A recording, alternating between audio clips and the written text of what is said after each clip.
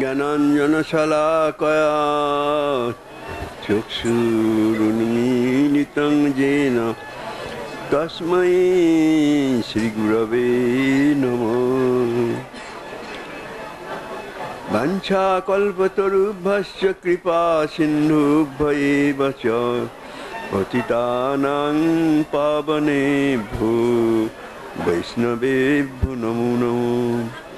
নমো ভক্তি বিনোদায় সচিদানন্দ নামিনে গৌর শক্তি স্বরূপায় রূপানুগবরায়তি।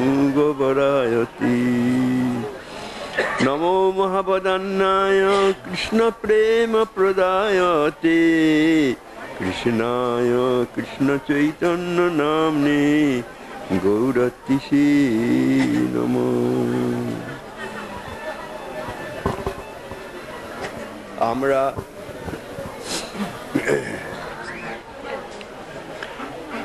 দুর্ভাগা হলেও অতীব ভাগ্যবান। তাই গুরু বৈষ্ণবের কৃপায় বলে এই ধাম পরিক্রমায় যোগদান করেছি। এই যে ধাম এবং এই ধামের যে পরিক্রমা এবং এই যে সংকীর্তন বিলাস সেই বিষয়ে আমাদের অনেকেরই কোনো সম্যক উপলব্ধি নাই। পূর্বে যে কীর্তনখানি হয়েছে, তার মধ্যে সেই ভাব সম্যক রূপে পরিব্যক্ত রয়েছে। গুরু কৃপা বলে জীবের সেই প্রকার উপলব্ধি হওয়া সম্ভবপর। যে মহাপুরুষ এই ধামকে, ধামের স্বরূপকে আমাদের নিকট কৃপা করে প্রকট করেছেন, তিনি হলেন শ্রী সচ্চিদানন্দ ভক্তিবিনোদ ঠাকুর, যার সেই ভজনস্থলেতে আমরা এসে উপস্থিত হয়েছি। আমাদের একান্ত প্রার্থনা তিনি আমাদের প্রতি কৃপা করুন।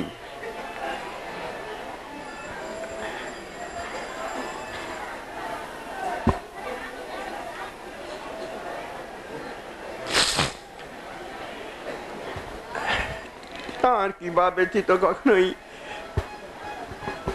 আমরা এই ভক্তি রাজ্যে বিশেষ করে ঔদার্য লীলা বিগ্রহ শ্রীমন মহাপ্রভুর যে উদারতা সম্বন্ধে কিছুই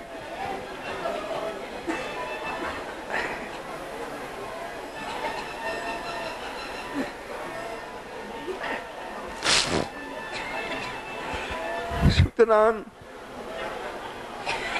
যদি তিনি না আসতেন, আমাদের মতন নরকের কীট, এই প্রকার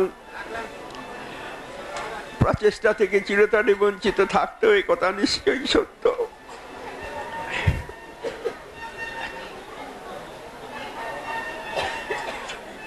সুতরাং তার অমর লেখনী, যে গ্রন্থাদি, সেইগুলি আমাদের জীবাতু এবং তিনি নিত্য তত্ত্ব তিনি আমাদের অন্তরের ব্যথা উপলব্ধি করে আমাদের কৃপা করুন। এছাড়া আমার বিশেষ বক্তব্য কিছু নাই। আমার তত্ত্বজ্ঞানও সেই রকম স্ফূর্তি পায় না। তিনি কৃপা করুন, যাতে করে সেই সব বিষয়ে আমি অধিকারী হই। আপনারা বৈষ্ণবগণের সিমুখ থেকে জ্ঞানকার মাহাত্ম সেবন করুন। বাঞ্ছা করুন।